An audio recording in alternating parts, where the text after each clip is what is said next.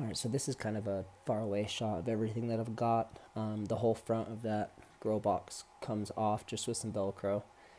Um, I've been topping and trimming a lot of this stuff just so it doesn't overtake the whole box.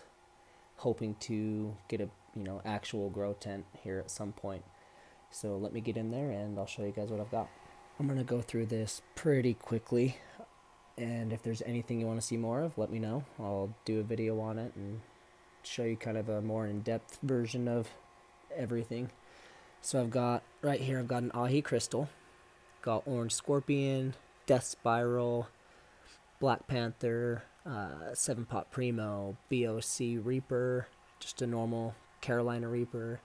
Got Bhut Jolokia, Chocolate Bubblegum 7, Chocolate Moruga Brain, Orange Scotch Bonnet, MRM, Seven Pot Brown Peachy, uh, Peach Fantasy, Sepia Serpent, Aji Pineapple. This one's a Mammoth Jalapeno. Got a Purple Ghost Scorpion.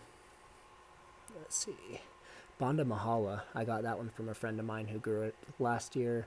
This one's another Black Panther that I've got sitting in a hydroponic system. So you can see the roots right there. Uh, let's see, I'll show you guys these ones in just a second. Going back here, I've got a Trinidad perfume. Got Sugar Rush Red, Red Scotch Bonnet, uh, Yellow Scotch Bonnet. Got Sugar Rush Peach, Umorok Red. Hopefully that's how you say it. What is it? Oh, I'll show you that one in a second. Got CPR right here. This one, what is this one? Okay, this one's a Bleeding Borg 9 that I've got in a hydroponic system. It's a pretty cool one. This one that I told you I'd go back to. So, this one here, um, you know, when you plant your seeds, you've got you you plant three, four, sometimes five seeds, and a lot of the times you only keep one or two plants, and if all of them sprout, you've got these extra plants. And I didn't want to throw some of these away, so I've kind of got a mystery pot.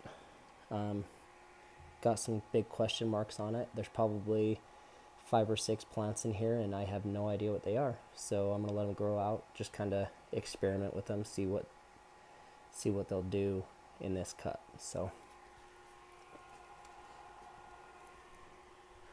Okay, so this is my uh, aji lemon drop. Let me pull this out.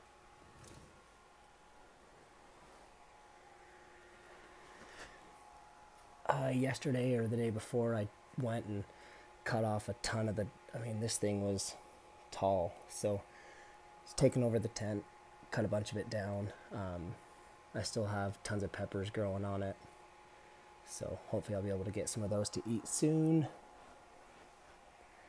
Here is my um, Caribbean Red habanero. There's a few pods growing down on the bottom here. Um, it's completely hydroponic.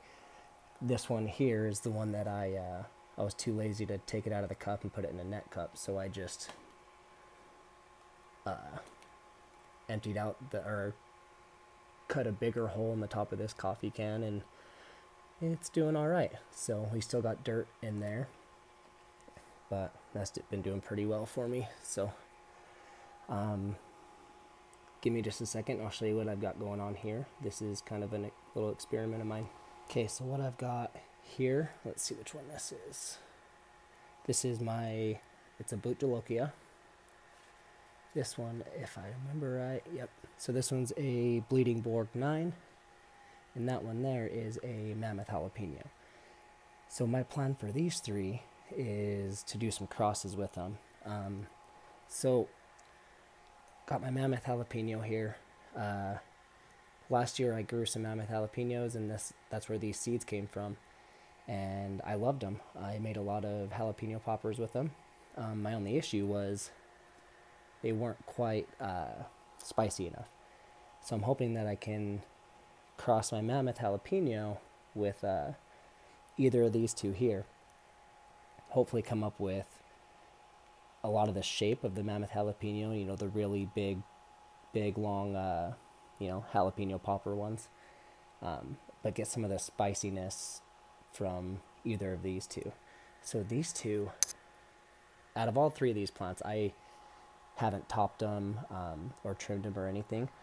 All my other plants, um, they get topped and trimmed all the time. I'm trying to keep them small until I can bring them outside. But so this here, I mean, got a huge stem to that plant, and it's just it's exploded in this cup, doing the double cup method.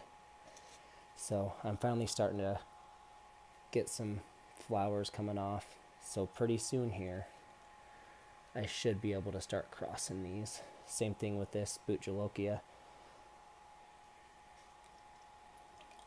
See, got tons of roots on these.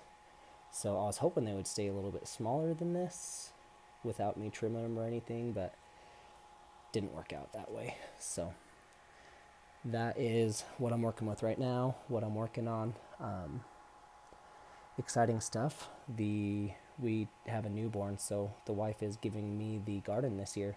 The plan was to do a bucket garden, and all of these were going to be growing in buckets outside. But now I get the whole garden to myself. Everything gets to get planted in the ground. Super exciting.